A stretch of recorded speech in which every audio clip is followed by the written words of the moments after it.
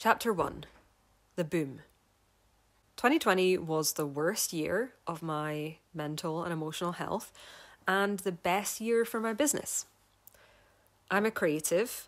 I have one foot in the world of writing and art and expression, and one foot in the world of selling knowledge and products and systems online. Um, so I try to have my own creative practice and I also make and sell resources for other creatives. So in 2020, I ran a round of my course, the Story Magic Academy, which is a course for writers. Um, and because so many people were stuck inside and looking for distraction or finally getting round to those creative pursuits that they'd wanted to, to pursue for a while, I sold twice as many spots on that course as I normally did. While in person businesses were in total crisis, online businesses like mine boomed.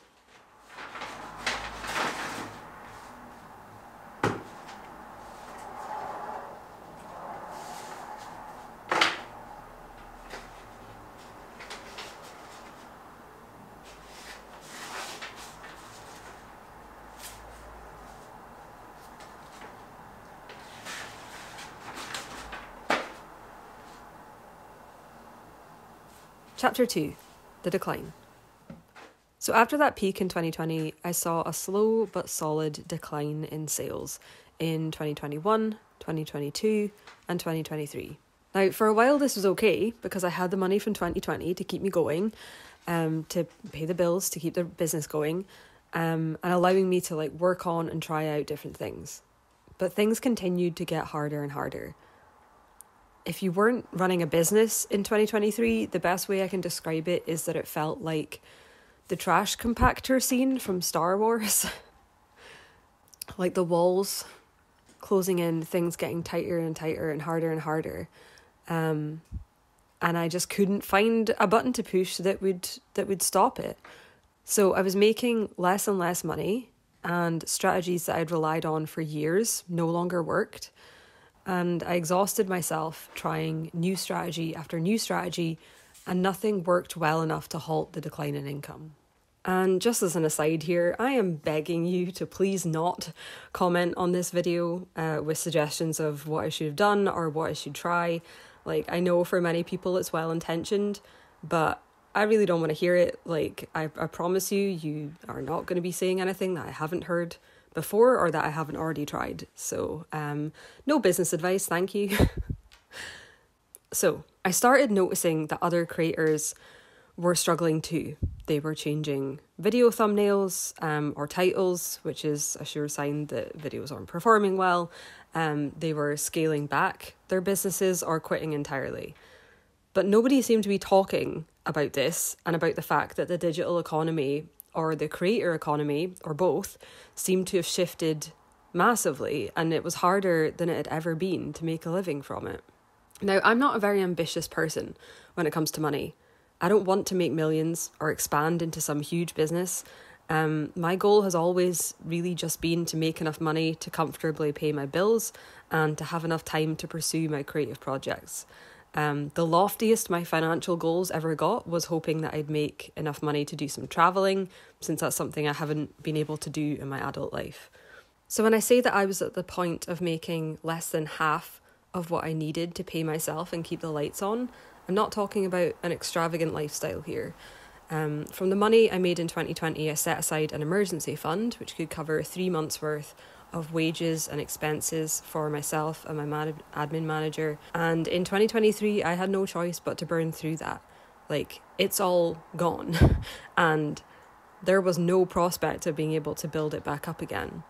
So, work became this cycle of rallying myself to create or launch an offering, putting everything I had into it, failing to make the revenue that we needed and then collapsing in stress and disappointment after that. Um, and then eventually dusting myself off and getting up to try again and repeat and repeat and repeat. And every time I got knocked down, it got harder to get back up because I burned through more and more of my own resilience and my resources, both mentally and financially. I slipped in and out of depression and anxiety um, several times over the year. And eventually, on the 28th of November 2023, I sat down, I looked at my finances, I crunched the numbers, and I realised that I was out of options. Um, and I had no choice but to get a part time job.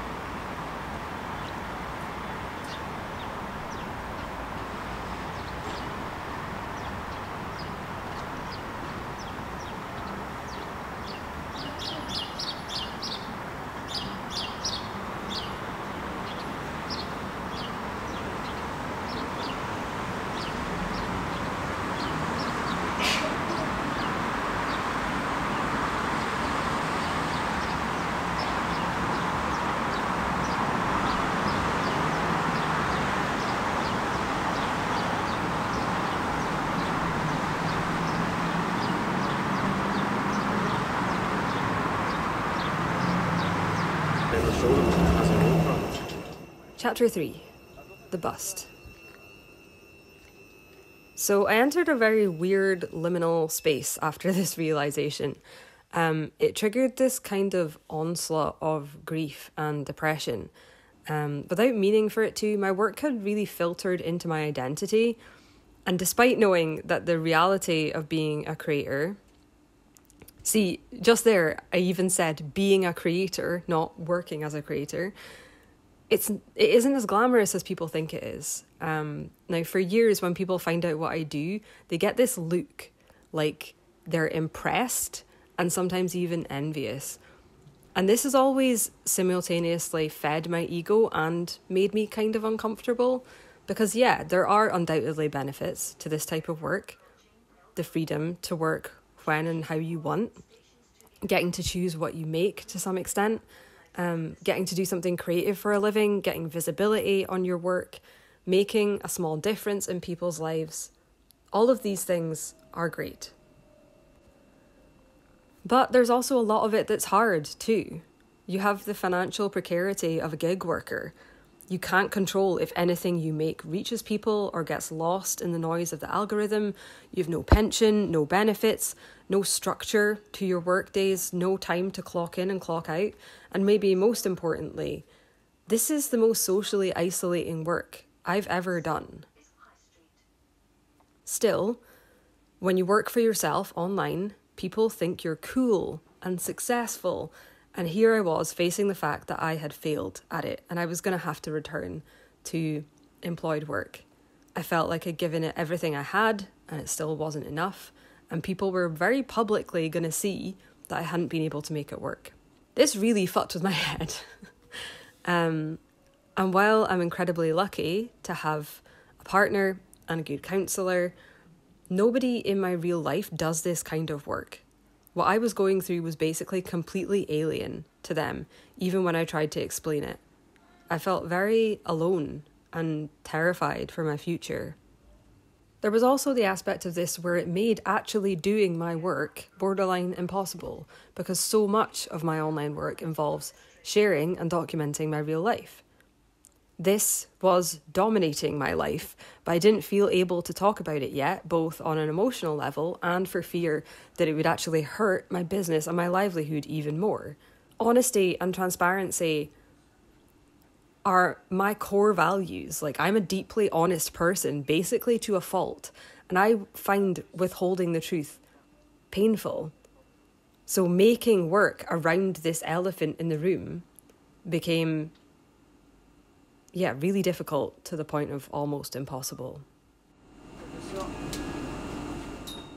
Chapter 4 The Hunt.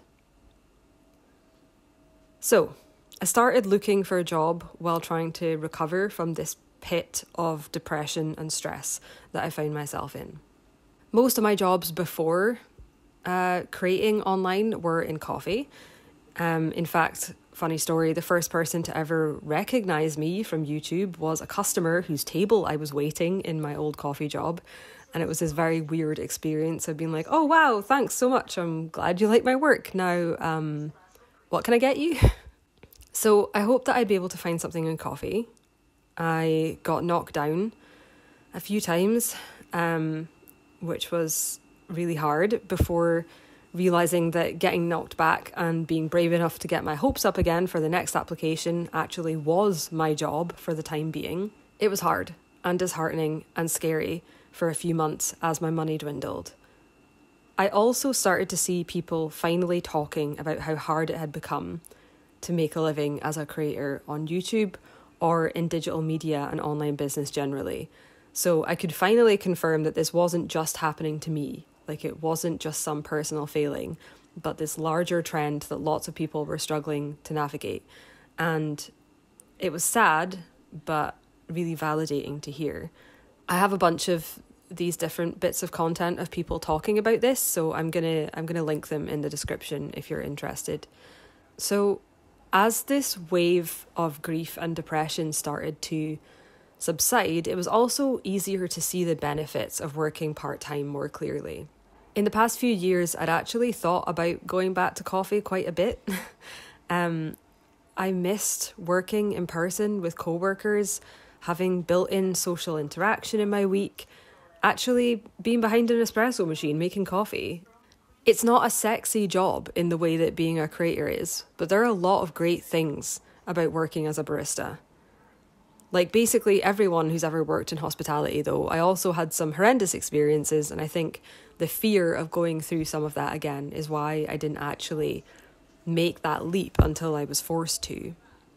So I was job hunting through December, January, and February before I finally found something and I found a part time job as a barista in a specialty coffee shop that I really liked.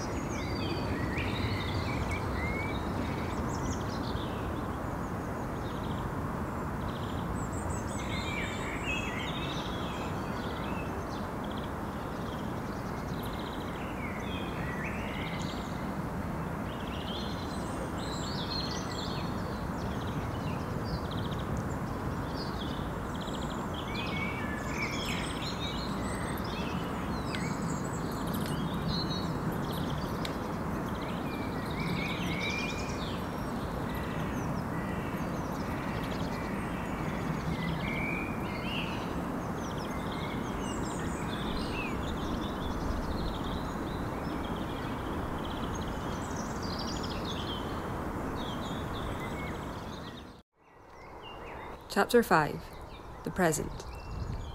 So, I've been working part time in my new job for a few weeks now, and honestly, I'm really happy.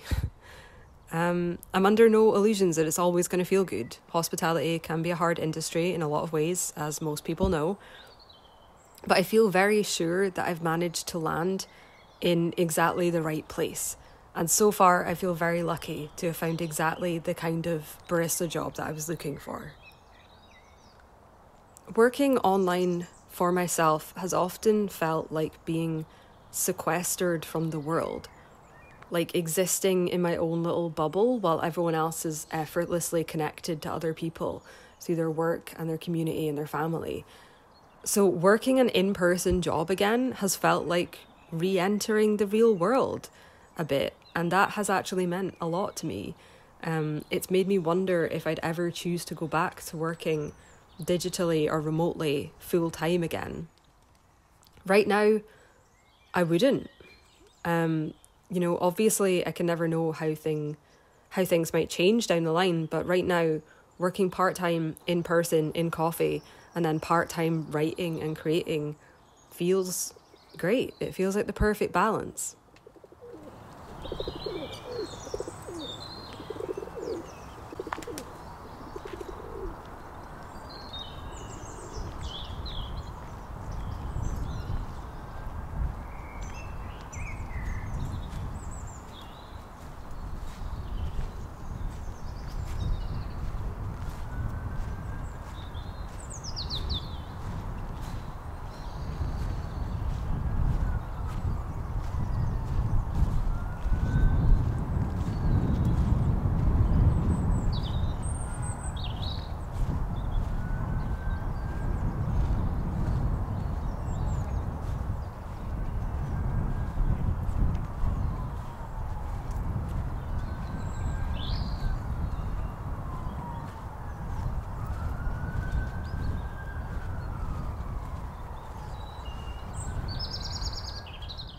Chapter 6 The Future.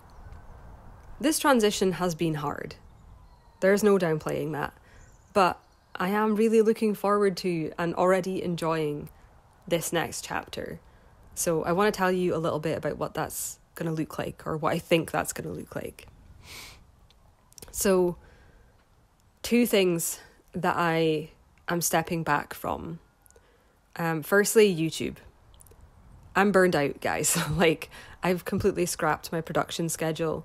Um, it's become clear that publishing videos regularly is no longer valuable enough to my business to prioritize it so highly anymore. Like, I can't do that and fit everything else around it anymore. Um, so I'm not going to try and stick to any schedule. Um, I'm still going to make videos if I feel like it um, and if I have the time. But generally, that's going to be much lower priority and it's kind of going on the back burner. Um, so, yeah, you're not going to see frequent videos from me in all likelihood. Um, and then the second thing is courses. Um, so, yeah, I've run several online courses in the last few years. Um, I'm kind of burned out on launching, like on the launch kind of business model, like, you know, opening doors for like a couple times a year. Um, so I need to figure out what this is going to look like, really, because I haven't entirely nailed that down. Um, in the past, I've essentially used my courses, um, like running my courses, to fund my writing um, or my other creative work that doesn't pay the bills. Um, but obviously, that's changing now. So, just to let you know, the Story Magic Academy, which is my course for writers, is still up on my site. There's a self study version of it now. Um, so that's still available, and I don't have to run it like live anymore. Um, I know there are people waiting on the next round of Constellation Clarity, which is my course on like organizing and bullet journaling and um, getting your life together. Um, I'm still figuring out what I'm going to do with that. Um, so as soon as I know, I will send out a notice in my newsletter, basically. So um, yeah, I'll let you know when I know. So that's what I'm stepping back from. Um, what I'm actually going to be focusing on, what I'm going to be spending my time on and working on um, going forward for the moment. Um, part time coffee work, obviously, as I've said. Um, I'm really enjoying it. It's really nice to just have like a stable kind of part time income, um, seeing people in person, doing something different. So yeah, that's that's going to be taking up about half my week. Um, and then writing and pursuing publishing. I have three big creative writing projects, um, creative slash writing projects. Um, that includes the constellation deck and the guidebook. Um, I haven't been able to devote consistent time and energy to that um, because it's not immediately going to make money.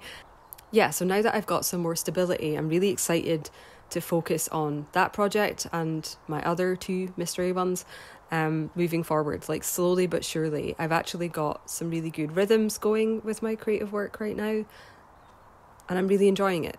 So that's great. I'm also going to follow my own advice and wait until things are done to talk about them more. Um, so I'm not going to, you know, reveal more of what those projects are. Um, but I will say, no, I'm still not going back to novels for anyone that was wondering. Um, and then, third thing I'm going to be focusing on is Patreon. So I've actually paused my Patreon for the moment um, because I need to restructure my benefits and tiers and figure out how my workflow is going to work given how things have changed. Um, both working by myself um, since Christie's left now, and then also obviously working around my part time shifts. Um, so that's my main next work project is figuring out what the Patreon's going to look like going forward. Um, and hopefully that new setup will be live in the next few months. So yeah, stay tuned for that. And then lastly, things that I'm looking at for down the line um, once I've got all these things sorted. Um, client sessions. So I started offering one to one sessions um, fairly recently, and it's been really great, and I'd really like to continue with that. Um, I really love working with people in the one to one format, and I don't feel burned out by this kind of work at all. If anything, I find it energizing. So Um, I need to figure out if it's possible to work a client calendar around my shift calendar. Um, but yeah, ideally in a few months, I'd like to open those up again properly. Um, and then I'd also like to keep working on smaller digital products um, that aren't courses, like the Tarot and Lenormand companion journals that I designed in Notion. Um, so there might be more of that kind of stuff. Um, but that's only after I've prioritized, you know, the big the big writing projects. Um, yeah, so that's it. That's my update. That's what's been going on for the past year. Um, so, yeah, lastly, I just want to say that if you've been here for a while, thank you for following my work and supporting me. Um, it's been a ride, clearly. Um, I hope that you'll follow me over to some of the other places that I'm uh, creating, not just YouTube, um, since it's going to be a bit quieter around here. Um, yeah, jump on the Patreon, go um, sign up for my newsletter. Um, but yeah, here's here's to what's next. Okay.